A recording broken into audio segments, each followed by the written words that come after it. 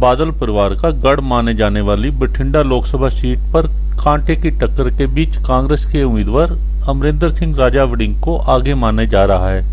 तीन सप्ताह के तीखे चुनाव प्रचार के दौरान केंद्रीय मंत्री और अकाली दल के उम्मीदवार हरसिमरत कौर बादल और कांग्रेस के राजा वडिंग में तीखी जुबानी जंग हुई। बठिंडा में कितना कड़ा मुकाबला है, इसका अंदाज़ा मतदान के प्रतिशत से लगाया जा सकता है। बठिंडा में पंजाब का सबसे ज़्यादा चौहत्तर प्रतिशत मतदान हुआ है। चुनाव प्रचार के दौरान कांग्रेस के राजा वडिंग ने गुरु ग्रंथ साहब की बेअदबी का मुद्दा उठाकर अकाली दल की रैलियों का विरोध कर रहे पंथक संगठनों को कवर फायर दिया। राजा वडिंग ने 10 साल के अकाली दल के शासन की कमियों को भी उजागर किया। राजा वडिंग ने हरसिमरत कौर बादल पर सांसद रहते, बठिंडा के विकास के लिए कुछ न करने का आरोप भी लगाया।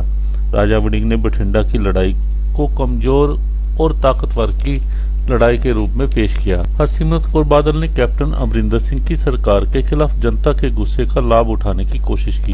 कांग्रेस सरकार पर घर घर नौकरी, किसानों की कर्ज माफ़ी और युवाओं को मोबाइल बांटने के वायदे पूरे न करने के आरोप लगाए। हरसिमरत बादल ने उन्नीस सौ चौरासी के सिख विरोधी दंगों का मुद्दा भी उठाया। हरसिमरत बादल ने राष्ट्रवाद और मोदी लहर का भी बठिंडा में फ़ायदा उठाने की कोशिश की। राजा वडिंग को बठिंडा की जंग में उनकी पत्नी अमृता वडिंग का भी पूरा साथ मिला। हरसिमरत बादल के देवर मनप्रीत बादल और उनके परिवार का भी पूरा सहयोग राजा वडिंग के साथ रहा। 2014 में मनप्रीत बादल नजदीकी मुकाबले में हरसिमरत बादल से हारे थे।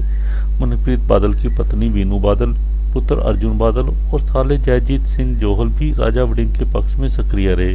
प्रियंका गांधी ने राजा वडिंग के पक्ष में जनसभा की। नवजोत सिंह सिद्धू और उनकी पत्नी नवजोत कौर सिद्धू ने भी राजा वडिंग के लिए प्रचार किया।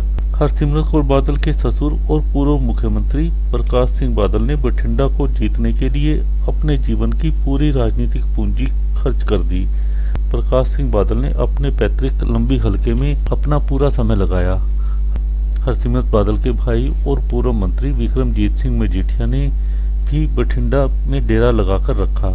प्रधानमंत्री नरेंद्र मोदी ने हरसिमरत कौर बादल के लिए रैली की। हेमा मालिनी और सन्नी देओल ने भी हरसिमरत बादल के लिए रोड शो किए। हरसिमरत बादल को अपने पति सुखबीर बादल का साथ पहले की तरह इस बार बठिंडा में नहीं मिल पाया। दरअसल बठिंडा लोकसभा सीट पर आम आदमी पार्टी से छिटकने वाली वोटों की निर्णायक भूमिका रहेगी।